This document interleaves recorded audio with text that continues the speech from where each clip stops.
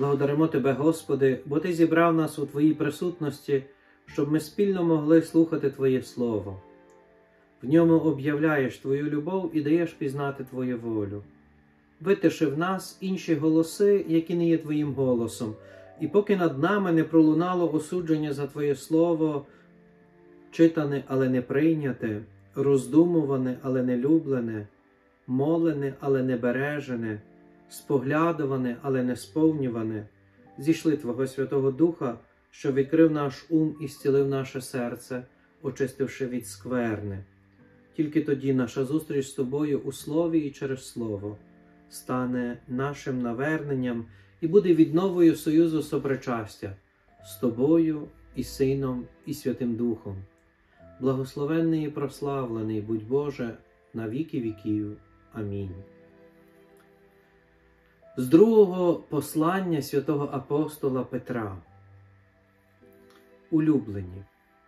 Насамперед знайте це, що ніяке пророцтво Писання не допускає особистого тлумачення, бо ніколи пророцтво не було проголошене з волі людини, лише святі люди, послані від Бога, промовляли натхнені Святим Духом. А були в народі і неправдиві пророки, як і між вами будуть неправдиві вчителі, які ведуть погубні єресі і, відрікшися владики, що їх відкупив, наведуть на себе скору загибель. Багато людей піде слідом за їхньою розбещеністю, і через них будуть зневажатися дорога правди.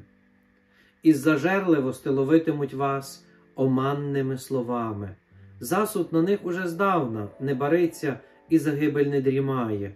Бо коли Бог не пощадив ангелів, що були зрішили, але кинув у пекло і передав їх у темну безодню, щоб їх тримати на суд, і коли Він не пощадив старовинного світу, зберігши лише вісім душ, з яких був Ной, провідник правди, і навів потоп на світ безбожних, і коли він, щоб дати приклад майбутнім безбожникам, спалив міста Содом і Гомору і засудив їх на загибель, і коли він врятував праведного лота, якого пригнітала розбещена поведінка беззаконників, бо праведник, живучи між ними, мучився день у день праведною душею, чуючи і дивлячись на учинки безбожних.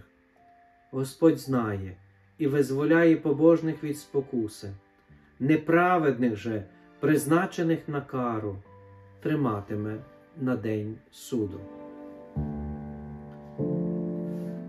Сьогоднішній уривок з листу святого апостола Петра, це з другого його послання, яке разом з церквою читаємо в часі літургії цього, цих тижнів, запрошують нас ще раз подивитися з великою повагою і з великою вірою до слова Писання, яке кожного дня слухаємо.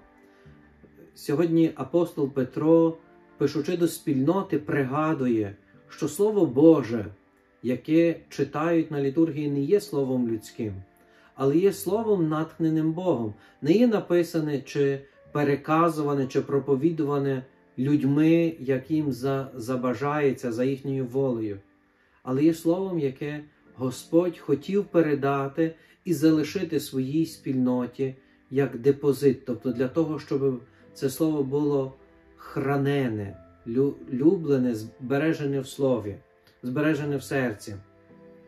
І тому апостол Петро, заохочуючи, щоб ми, дивлячись на це слово з такою великою повагою, з великою вірою, пам'ятали, що його тлумачення, тобто його пояснення, не може бути нашою приватною справою, але є завжди справою церкви, є справою, е, справою Божою. Хоча апостол Павло відразу констатує факт, що апостол Петро констатує факт, що так як колись були і лжепророки, так само і в наш час чимало лжепророків постане для того, щоб солодким словом звести тих, які крокують за Ісусом, тих, які йдуть за Ісусом. І цікаво є також сьогодні, що апостол Павло пригадує, власне, порівнює е, це життя праведника посеред розбещеного міста, життя поодиноких праведників посеред, посеред гріха, як тих, яких, які не залишаються ніколи самими, але є завжди під пильним поглядом милосердя Божого, Бога, який турбується і в відповідний час спішить, щоб визволити і потішити. Е, Власне, словами, е, те головне слово можемо сказати, головна думка, яку е, сьогодні апостол Петро нам намагається переказати, що опроч Слова Божого, яке ми приймаємо, який нам дане від Бога, Господь також знає кожного з нас і знає, коли нас визволити від спокуси, які, яка, яка нас напастує, ви, і допровадити до свободи е, дітей Божих. Господи Ісусе, допоможи нам, вслуховуючись у слова Твого святого Писання, вчитися пізнавати Тебе і крокувати за Тобою з довірою і упованням. Допоможи нам слідувати за Тобою і вірно виконувати в нашому житті Слово, яке ми прийняли, і зберігаємо в нашому серці.